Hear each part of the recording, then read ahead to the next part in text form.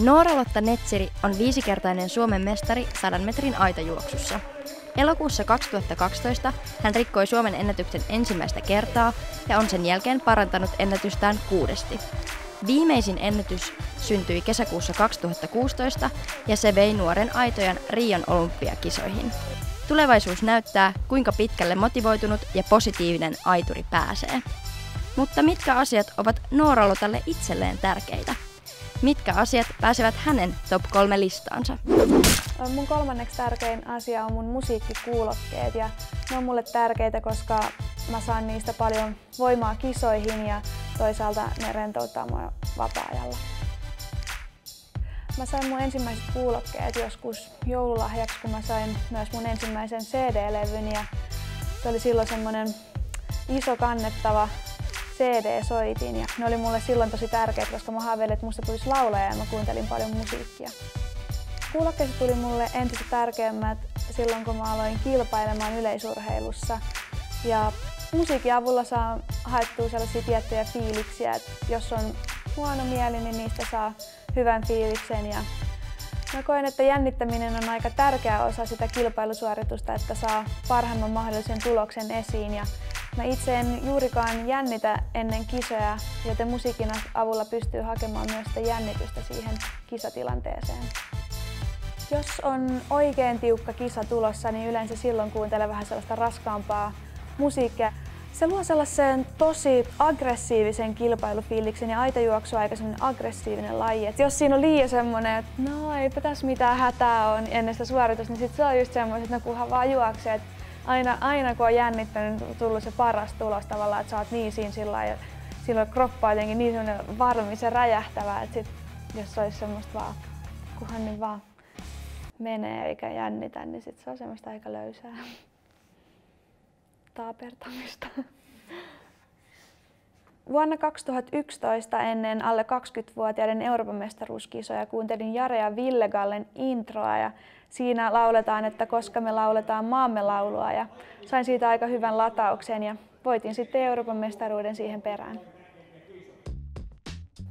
Mun toisiksi tärkein asia on mun valokuva-albumit ja ne on mulle tärkeitä siksi, koska niissä on kaikki mun muistot. Mä oon oikeastaan aina kun mä muistan, niin teettänyt valokuvia ja aikaisemmin sitten äiti on niitä lapsuusvuosilta tehnyt mulle ja se tapa on ehkä jäänyt sieltä, sieltä sitten itsellenikin. Ja valokuva tulee loppujen lopuksi aika harvoin katseltua, mutta mun mielestä se on ihanaa, että siellä on valokuvia kaikista ihanista reissuista ja tilanteista ja niitä on sitten kiva jälkeenpäin katsella. Mulla on varmaan kaikista mun läheisistä valokuvia ja mun mielestä se on tärkeää, tärkeää ottaa sinne kaikista erilaisista tilanteista valokuvia. Nyt siellä on tullut aika paljon urheiluuran varrelta otettuja, otettuja kuvia ja kaikilta reissuilta otettuja kuvia, mutta myös ylioppilasjuhlista ja sen tyyppisistä tilaisuuksista.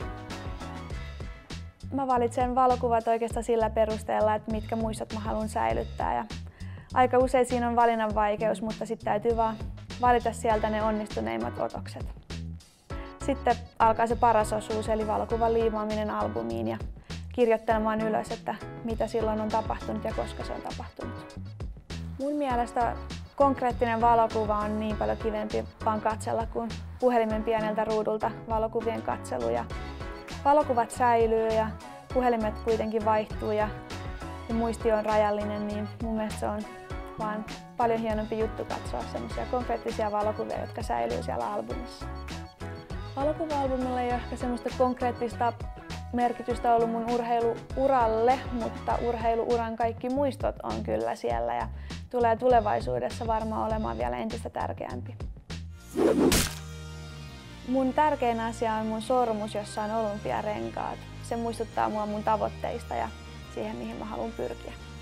Tämä sormus on ostettu pari vuotta sitten ja mä näin sen ehkä sitten kolme vuotta sitten silloisella maailman parhaalla aitojuoksella Sally Pearsonilla sormessa ja etsin varmaan vuoden ajan, mistä tällaisia sormuksia löytyisi ja lopuksi netin kautta löysin ja tilasin sitten ulkomailta tällaisen kotiin. Tämä sormus on mun sormessa oikeastaan koko ajan, että on ehkä johonkin uimahallin ottanut tämän joskus pois, ettei se vain menisi hukkaan, mutta muuten se on lähestulkoon aina mun sormessa. Ja ei ole ehkä erityisiä tilanteita, että mä sitä katselisin, mutta aina silloin tällöin katse siinä käy ja muistuttaa siitä. Olympiarenkaat on jokaisen urheilijan ehkä semmoinen tietty symboli ja olympialaiset on ehkä suurimmat kisat ainakin yleisurheilussa, mitä on olemassa. Ja ne on ehkä semmoinen suurin, suurin tavoite kuitenkin menestyä siellä ja tämä sormus muistuttaa mua siitä joka päivä. Mun tavoitteet on menestyä olympialaisissa, mutta myös yleisesti yleisurheilussa ja tulla ihan maailman parhaimmistoksi. Kolme vuotta sitten mä en ollut vielä koskaan käynyt olympialaisissa ja tämän sormuksen merkitys oli silloin ehkä vähän erilainen, että se muistutti mua siitä unelmasta, siitä olympiaunelmasta, mutta nyt sitten olen käynyt yhdet olympialaiset ja tiedän mitä se on ja nyt tämä ehkä muistuttaa mua siitä, että mä tiedän, että siellä on oikeasti mahdollisuus menestyä ja Tokiossa on sitten uusi mahdollisuus.